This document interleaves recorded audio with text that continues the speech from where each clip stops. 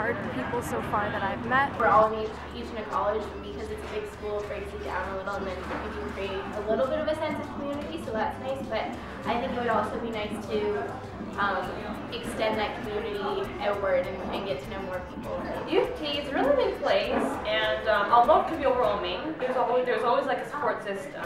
My impression is that U of T has so much to offer, just like any other school. But what makes it unique is the fact that despite having 45 to 50,000 undergraduates, I still feel like I know everybody here. It feels like a community that I can really fall back on when I slip and fall and they'll put me back on my feet. So. Especially like with the whole college system, I feel like colleges are definitely very supportive. Exactly. And I love the diversity that you oh, see. Yeah. You know, you oh, learn yeah. so much about um, other cultures. So it's a learning that extends beyond the classroom. That's the way I look at it. Yeah. Each community by itself, the group itself, like it's very good. You have a lot of things to do, a lot of activities, a lot of social experiments, a lot of like movies like these, interviews every time, everywhere, like a lot of intramurals and sports.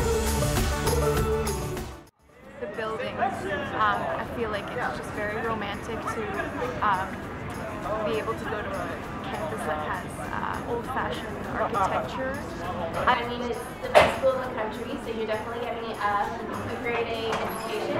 We get to spend time with like uh, all the buildings. I think the architecture is really beautiful, and um, you know it's sad because we're so busy with you know with our cities that we rarely notice like how beautiful our surroundings are. It's a very beautiful university. It is I really love pretty. The, like some of the And I love that we're in the middle of the city. I love the nice big old architecture feel of it. Like when you walk into UC and you're like, I go to a school with like real roots. They say that you're not a number, but then they give you student numbers. So that it's so um, spread out, it's hard to get to know everyone, so it's hard to find a sense of community. A lot of people like eat lunch like by themselves, and um, there are a lot of commuters at, at this school, and so like it's hard for a commuter to make friends. The problem is you really want to know where to go and be on the on the correct mailing list in order to know what's happening. I would like to see more groups advertised um, on how people can meet like-minded people. I Um, think there is a lot of students, and um, it's really hard to get to know every single one. I mean, U of T is a bigger university, right? So obviously it doesn't have all the perks that little universities have, like you don't get to know people as well. So a lot of friendships that you made before university, like, are what you stick to in university. That there's a lot of separation between colleges. Um, I think a lot of people go in with the expectation of some social isolation, and like I hear a lot of like I guess popular opinions that U of T is like bad social life.